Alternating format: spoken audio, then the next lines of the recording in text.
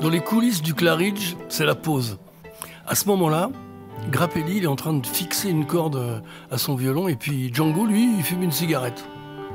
Grappelli, il s'accorde et puis tout de suite après, Django, il attrape sa guitare puis il commence à jouer.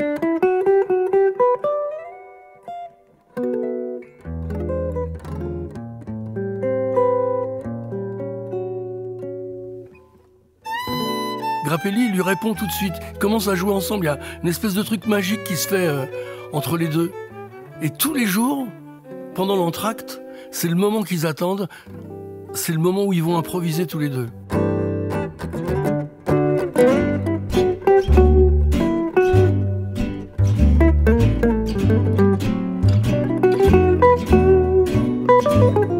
Les autres de l'orchestre voient que c'est à ce moment-là que ça se passe.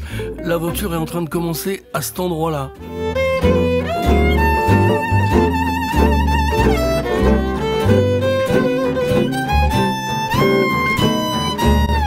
C'est à ce moment-là que commence euh, l'aventure du quintet du Hot Club de France. C'est là qu'ils ont inventé. C'est la guerre, la débâcle. Puis, c'est l'armistice. Alors Grappelli, il est resté à Londres.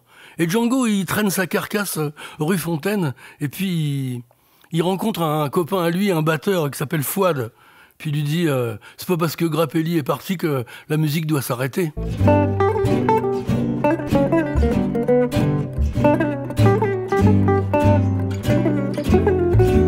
Et là, il y a un gars qui déboule d'Afrique du Nord, il s'appelle Hubert Rostin, c'est un saxophoniste, et il l'écoute, et quand Hubert Rostin lâche son saxophone pour prendre la clarinette, alors Django il s'arrête de jouer, puis il lui dit Ne lâche jamais cet instrument.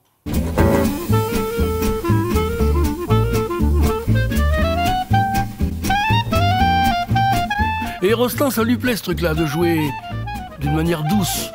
Il rentre comme ça dans la musique de Django, il rentre dans le swing. Bah, tout va se réinventer une deuxième fois.